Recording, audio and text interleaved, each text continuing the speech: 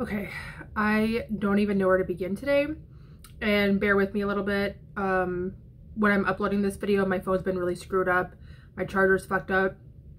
Um, lost power yesterday, so I had so much that I wanted to talk about initially, and then all this shit just happened. Um, I feel very 90s nostalgia today with my little toggle toggle set. Anyway, so where do I even fucking start? So, um, Thursday, when I got off work, I was hearing, I guess this was, would have been Thursday morning. So I was hearing rustling in the basement. Sounded like a wild animal had got in the basement. So I assumed that's what it was. And I really don't, I've only ever seen, I like to call it the beaver that lives in the front yard because I just think it's funnier. It's a giant groundhog that I've seen in my front yard before. But I'm like, this doesn't, and he's huge. This sounded like something was tearing shit up in my basement, going through boxes and bags. Like it has to be a raccoon. It has to be a raccoon or a possum. So there was a trap down there and normally I would only hear it during the night and it it was crying and whining and it just sounded like it was trying to scratch its way out of somewhere. It was only in one particular spot. But it was on my last fucking nerve. So I ended up calling a like animal rescue place that's close to me and this was on Friday or third yeah, Friday morning or Friday mid-afternoon before I had gone to work and they were like, we can't get anybody out there. Our next appointment is Wednesday morning at nine o'clock. I'm like, okay, well that thing's gonna be fucking dead by now. Now, mind you, I'm just hearing it. Physically never saw the fucker at this point. Physically never saw it. Um, but there was a trap downstairs with like peanut butter and whatever. Never trapped it. Well, okay. It's just such so stupid after the point of, and this was like the ongoing joke for like two fucking days. So after like two and a half days, I can still hear this thing. Well, I end up walking around my house and there's a giant hole in the ground, like right by where I'm hearing it by my basement. So I'm assuming nothing actually was in my basement. I think it's like a groundhog hole that got fucked with. And I think I was just hearing it because I have a window right here. So it was sounding like it was in my basement. Now, I think I'm still going to keep the appointment on Wednesday just to make sure. I've been down in my basement since then to do laundry, but I'm just going to make sure. So I've been calling it the beaver in my basement, which sounds like a really bad porn, but I've been calling it that for like the past two days. I told people at work and it's just like, okay, so that was the ordeal that I was dealing with for whatever. Haven't heard anything. Um, didn't hear anything last night, so I've only been in the basement once, so I'm holding out hope that it's not actually down there, that maybe, you know, I thought maybe it just got scared and hid, but I looked everywhere in the basement, like there's not anywhere that it could possibly have hidden, so I'm thinking that that's just the case. Okay, so now that we kind of got that out of the way, I'm like, okay, maybe we have that dealt with. Ran to Walmart yesterday to get, fuck, I don't, do you really have a, a whatever, you know, a need to go to Walmart? Very, very seldom do I have to. And I knew that it was supposed to be storming for a while, but it looked fine. It was just kind of cloudy outside. And for some reason, I was just having a really bad day yesterday. I had such fucking bad anxiety. I was shaking all day. It was bullshit, but I felt good like right before I was getting ready to leave the house. And then as soon as I left the house, I'm like, dread. So get to Walmart and I'm trying to make it through the store and then it starts to rain I can hear it on the roof. And it kind of like calms me down. Like, okay, like, because like I've said before, I have really bad social anxiety and it's kind of to the point where, not to the point where, but um, one of those things you think you're gonna just gonna pass out in the store and you think everybody's gonna stare at you. So it might sound nuts, but I'm like, okay, it's raining outside. People love rain. White people love rain. White, you know, everybody freak it, freaks out about rain. I'm like, okay, cool. So if I happen to collapse in the store, nobody will notice because it's rain. It's just, it's really, it's really dumbass way to think. Anyway, so going through the store and as soon as I get to the other side, the lights start flickering really bad. And I'm like, holy shit, how is it that bad outside that the lights are flickering that bad? Um, the power ended up completely going out in Walmart. And of course it was packed people start freaking out and I'm waiting for people to just like start panicking and running and grabbing their shit and running out the door. Well, um, magically, you know how Walmart always has like two employees, like they're never at the registers anywhere. Magically, all the employees came out from the back. All of them. There was like, there's so many people that work at Walmart. You would never know it they came up and they were like, hey, um, if you're going to stay in the store, everybody needs to go into the back where the warehouse part of electronics where the stock room is. I'm like, now I'm like really freaking out. I'm having such a panic attack. Like my eyes are starting to go blurry. like you're kind of not even noticing what you're looking at. And they were like, you can take your carts if you want to, if the registers are going to be back up. So I go all the way back to electronics and I'm waiting. I'm sitting on the ground. I'm texting my friend. I'm trying to calm myself down because I'm like, this is fucking great. Like this would just beautiful. Um, and you can tell that it's hailing really bad. So I keep checking my phone. I didn't hear any tornado warnings, but of course people are freaking out, you know, I think it's a tornado. I'm like, fuck all of you. I'm like sitting in the bicycle aisle and this is all where it ends. Like I just wanted to come to the fucking Walmart to get some, I needed some candles and a goddamn picture frame and a toilet seat.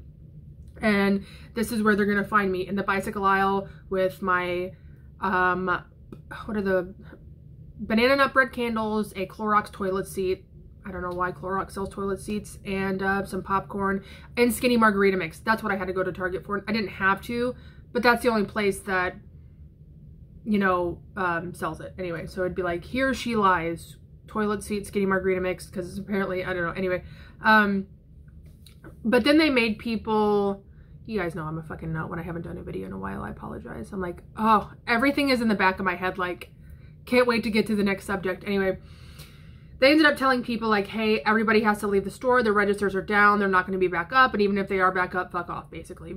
And I'm like, cool, I'd rather get out of here. But people are like screaming at the employees. They're like, you're sending us out in this. I felt like I was in the movie The Mist. And people were getting like banned from the grocery store. It was so funny. And they had like all the security at the front. The whole front of the store was flooded. Well, whenever we left, I saw what had happened. A giant power line had um, I don't know if it got struck by lightning, what it was, but it all the traffic lights were out and I literally started crying because there's a huge, enormous four-way intersection at this area, like most Walmarts or big, you know, shopping centers. And people are dipshits when the lights are out. They don't they don't give a fuck uh, where you have to be or following the rules. They just want to go. So I literally started crying because I just wanted to get the fuck out of there. People are going when it's not their turn people are like going really fast and then having to like skirt on the brakes in the middle of the intersection because like, you know, so finally get out of that shit. And I'm just like, holy shit. But of course, like I still, it wasn't just the skinny margarita mix and the toilet seat I needed to get. There was other stuff. So ended up having to restart and getting everything then. Um, so that's been that. I think those were the two big things. The, uh, the Walmart shelter story and the beaver which I still don't know. I don't know if there's a family of beavers because it's really a groundhog, but I still see him in my backyard. He's just a funny little thing. I mean, I don't want to lose him. I don't want to trap him. I did trap a possum. A possum did get trapped in the trap. But he's just going to come back. I mean, it is what it is. You can't really do anything. They just don't need to burrow in my basement. So, um, hopefully the landlord's going to come back and end up fixing that or, you know, I can still have my appointment. I just don't really know if I want the appointment because God knows how much that's going to cost for somebody just to do an estimate. I don't know. I'll up, update you on that later. So, in regards to the work story, I wanted to get this video out because now that we've gotten all through that, I know what I'm going to do 99.9% of the time when it comes to this, but I told you guys that I had done with my other job, put my two weeks in. At this point, I have two more shifts left. So I had told my manager that the last time I talked to you guys, and I went to work on that Wednesday, last Wednesday. It's Monday now, so yeah, last Wednesday. And I kind of had already figured everybody was going to know, even like the regulars and stuff, but I come in, I'm not just going to immediately announce it. I, I get to work. Maybe two hours into my shift, I'm talking to one of my regulars, and one of the bartenders, her boyfriend was sitting at the bar. She's a little bit older. I've I've um gotten very, very close to this particular bartender and her, I really just want to say her husband. They've been together for like 12 years. Sweet as can be. So about two hours into my shift, after everything kind of calmed down, I said, I got some bad news for you guys. I said, next Friday is my last day. And they both were like, they were like, no, no, don't say that, please. Like, you know, whatever. And I was like, I'm really sorry. Like, I just can't do it anymore, whatever. So when I got to work that following Friday, it was really slow. It Cinco de Mayo and most people aren't going to come do like they're going to go to Mexican restaurants and a Mexican bar to for Cinco de Mayo, um, which is so fucked up. It's so fucked up that those like that those places just aren't closed. Like no shit, that's where they're going to make all their money. But it's all these ridiculous fucking white people that are trying to speak Spanish. Oh, it's it's the worst. Any Hoosier, I'm cleaning off a table, and my coworker that you know probably my favorite coworker. I've worked with her for six years. Um, came up to me and she was like, so when's your last day? I said, next Friday. And she's like, oh, so what are you planning on doing? And I said, oh, I already have a different job. Like, and to be fair, I don't, I'm closer to her, but if whenever you quit a job, I don't think you owe anybody an explanation. There's really no, I guess depending on what you want to provide, what information you want to provide, but I was just like, I just can't do it anymore. And I guys, I told you guys a story about last Sunday, that whole debacle, and she had even said, she's like, you know, last Sunday was absolute bullshit. And I said, you know what, that, that was like the last straw, but that wasn't, that's not why I'm done. And I just, I don't like just sitting there and having to explain myself, especially when I know what's coming next. So basically she got teary eyed. She did. And I felt so fucking bad. She's like, can I just ask you if you would she's like, because I know you really don't want to close anymore. Would you be willing to just keep your Friday and Sunday shift? It's Friday and every other Sunday. I'm like, first of all, what what is even the point of that? One day a week and every like th that's literally nothing. That's even more that's even more of a point of like why should I stay for that tiny piece of shit? Like no. And she's like, because I really, really just don't want to see you go. I don't want to see you go. And it was funny because whenever I had messaged my manager, like he sure as fuck was pretty much just like, peace, bitch. Uh, good luck on your endeavors. Bye. You know, but other people, he's tried to like beg to stay. I'm like, I'm not, and it's, I'm not going to grow here. I'm so mentally done with this place. But when you're put on the spot like that, it's just really hard to just be like, no, especially when somebody's like crying, asking you to stay. And I, I felt so bad for her, but it also pissed me the fuck off because I feel like at this point, I mean, I know that I'm pretty much a closed off person, but I feel like I'm it's so hard for me to say no. It's hard so hard for me, but I'm like I cannot be put in the position to feel so bad that I'm going to stay. Like I cannot I have to stop feeling that way and stop feeling like I have to please everybody because that's what I've been doing my whole fucking life. And I I as much like it's not like I'm never going to see these people again. And I know like it's a 50-50. It's probably somewhat selfish she wants me to stay because I am a good worker and I'm one of the only people there that knows, you know, I've been there long enough so I know how everything works. Um, and I know I people will miss me. I mean, it's just you you connect with people, but I can't I can't just stay there to please you. You know what I mean? Like what that's not going to happen. So I just feel really really bad. But and at this point it's already about 7:30 at night. So I'm probably not going to text my manager. I'll probably text him tomorrow and just be straight up because I was pretty short with him. I mean, really the only thing you should have to say to a manage manager is I'm putting in my two weeks and that's it. But I don't want to leave this place with hard feelings because I do like most of the people that are there. So I think I'm just going to send him a message tomorrow and be like, hey, I know you talked to so-and-so. Um, I don't want to end this on bad terms. You know, maybe maybe in the future if you need possibly somebody to work a banquet, hey, maybe once in a while I'll do that but it's not going to be like it is, you know? It, it can't. And I know I feel very bad. You know, blah, blah, blah. Like, again, I don't need an explanation, but I don't feel a need to end this job on bad terms. But that just kind of, like, broke my heart and pissed me off at the same time because I'm like, please don't put me in the position to, like, like, come on, just wish me the best and say goodbye. It's really not that big of a deal. Like, it's whatever. Um, so that was that. And then, I don't know what day it was, I had seen, now again, I've been staying very much out of the drama because I want no part of this shit, but I've just seen everybody left and right that is taking everybody to court, and I saw Gaining Grounds video just so happen. I really do, I do like when he uploads, but I don't watch whenever he talks about Monty because I don't have any idea who that is, and I don't keep up with Chantel or anything like that anymore. But I guess he had done a video where he said that he was going to finally take Negs to court, and we'll see how that goes. Um, I guess he's not going to talk about it much, but I was just like, and again, I, I just haven't been inserting myself, but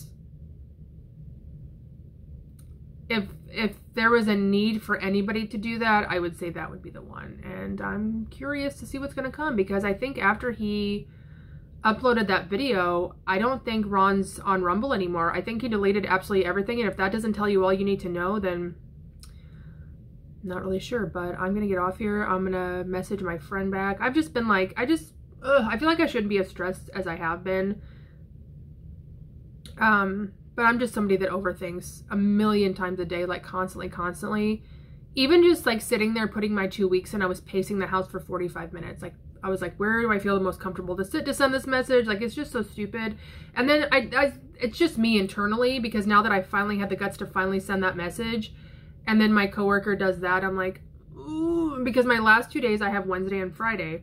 It's gonna be hard enough for me because I am sad leaving that job, and I just don't want to be trying to do my job and then having somebody in my ear constantly asking me to. I just think that's so messed up. I've never once in my life at any of my jobs, and I've loved a lot of my coworkers, been like, I think every time somebody was gonna quit, I'm like, oh, that sucks, but like, good for you. Like, that's good for you because especially if you're the same coworker that's bitching about the job, like, it's your prerogative to say that's totally fine, but please don't like beg and beg and beg and you know it'll be fine. Like, I'll I'll see you, but I, I, I literally can't, I can't anymore. I need to fly, fly.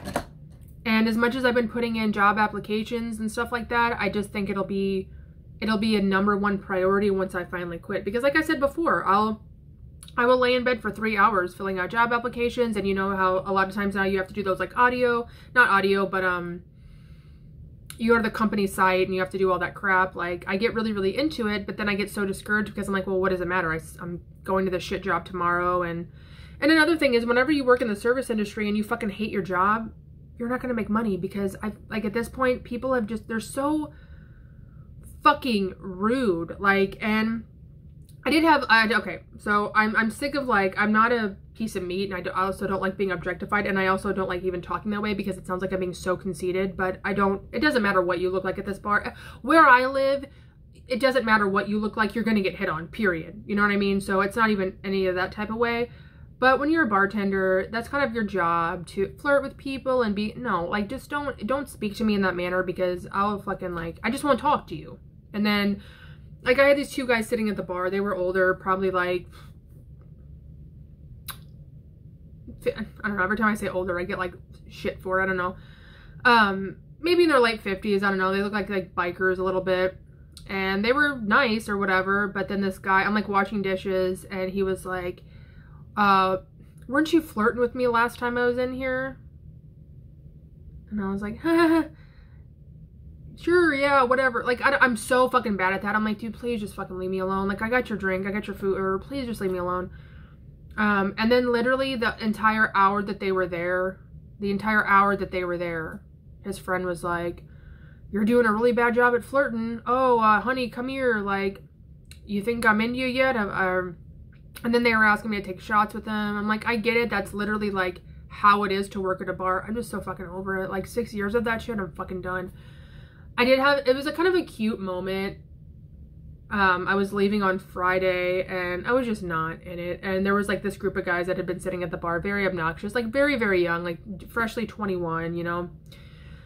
And uh, this one guy was there and he had been in there, I guess I've seen about three times now. Handsome young man, whatever. I sound old as handsome young man. But I don't give a fuck. Um, so I'm getting ready to leave. I'm walking out. The, I'm like sprinting out the door. I'm sprinting out the door. And he, I can hear like running behind me and he like, he's like, excuse me, excuse me. He's like, can you please stop, stop? And I was like, oh yeah, hey, what, like, what do you need?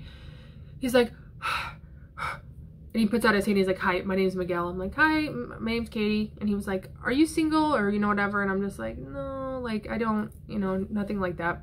He's like, okay, I'm sorry, I'm sorry. And then goes away. And I was like, no, that was very, very cute. But I just don't, like, I'm just like, I just want to go home, be fat, and eat my pasta, and just, like, watch Game of Thrones. I don't want to, I'm just such a, I don't even want to say I'm an asshole. I just I'm me. I can't help it.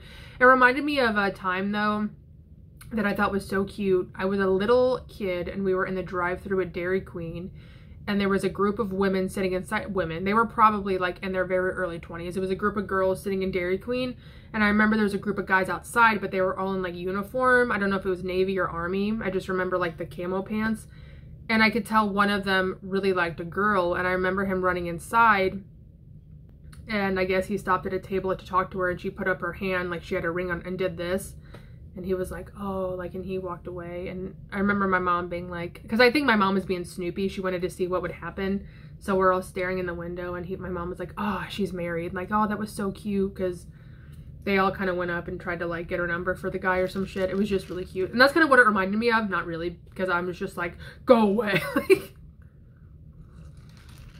I'm just kidding. I would never do that unless you're really rude. But yeah, that's my point.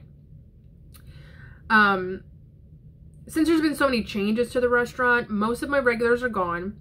a lot of I mean some of them has still stayed for me, but I've even said like if, if this is so miserable for you, and it's not even that like the menus change, certain drinks have changed, like that doesn't, you know what I mean? That doesn't keep people. So a lot I'm just like not I'm not making what I was at all. I'm like tan here and not because I want to match my neck to my body. Oh, I just want to get a spray tan so bad, but I'm scared I'm going to be allergic to it or something. I was going to do it today, but I fucking bitched out. But yeah, so that's what's been going on with me. I'm going to get off here because like I said, I'm trying to, you know, preserve my phone battery as much as I can because my charger's been fucked up. I'm hoping to fix that soon. But yeah, I'm to get off here. I love you guys very much. This will probably take a while to upload, as I said. And we'll talk later.